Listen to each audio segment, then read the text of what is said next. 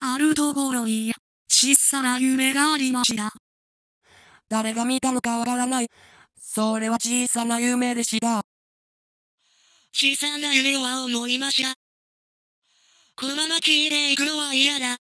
どうすれば、人によくを見てもらえるだろう。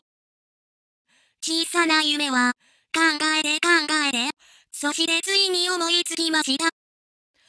人間を自分の中に迷い込ませて、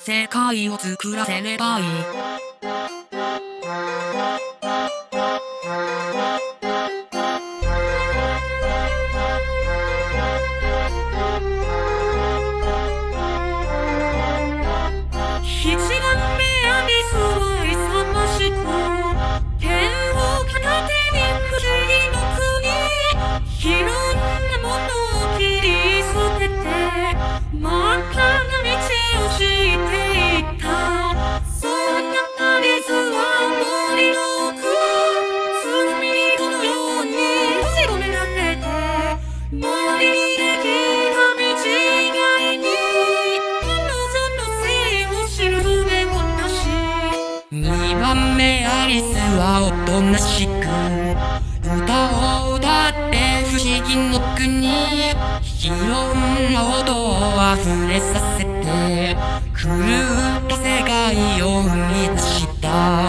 そんなアリスはバラの花惹かれた男に撃ち殺されて。真っ赤な花を一輪咲かせ。みんなにめでられかれ